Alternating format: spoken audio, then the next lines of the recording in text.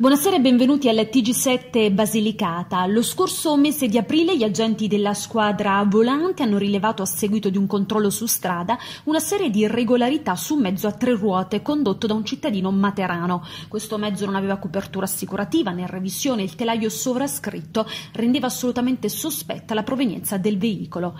Il conducente fu allora condotto in questura per redigere i verbali. All'esterno della questura era giunto il fratello dell'uomo ed entrambi avevano iniziato ad effettuare il riprese con il telefono cellulare, affermando tra l'altro di essere vittime di abusi di potere da parte di poliziotti.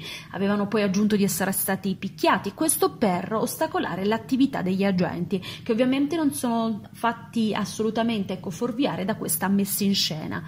Si è poi accertato che due soggetti avevano pubblicato persino due video ripresi in quei momenti concitati, alcuni sui social network, una pagina Facebook tra l'altro molto seguita a Matera e Whatsapp.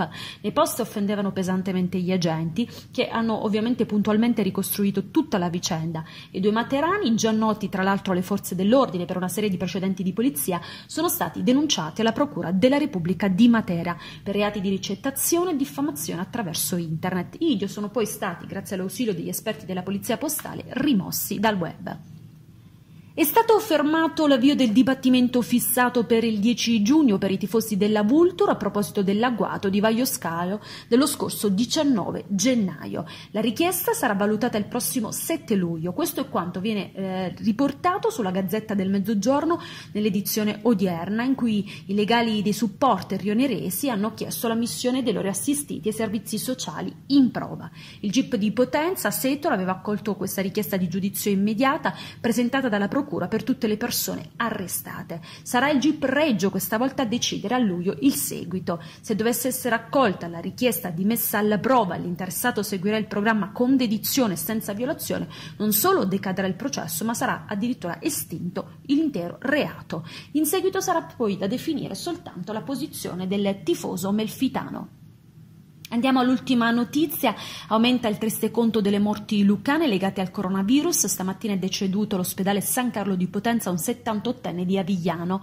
L'uomo era ricoverato nel reparto di pneumologia dopo essere stato per un lungo periodo in terapia intensiva. Era infatti stato ricoverato il 23 marzo. Dopo un periodo appunto nel reparto di terapia intensiva le sue condizioni sembravano persino migliorate, tanto da essere stato trasferito in pneumologia. Gli ultimi tamponi risultati anche negativi, purtroppo però le condizioni condizioni di salute pregresse, le complicanze legate al Covid-19 hanno portato alla morte dell'uomo. Anche il fratello, sempre di Avigliano, era morto dopo il contagio da Covid.